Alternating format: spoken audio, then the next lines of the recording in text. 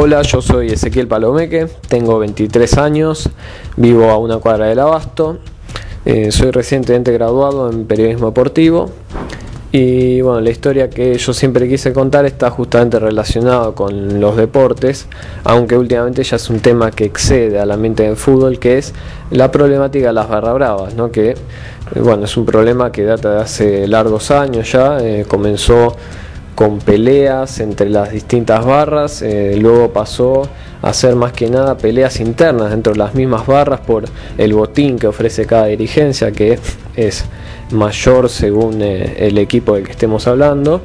Y bueno, es un tema que eh, aún no se le ha encontrado solución. Hoy en día muchas veces son usadas como grupos de choque por los mismos partidos políticos. Por eso decía que es un tema que ya excede el ambiente deportivo.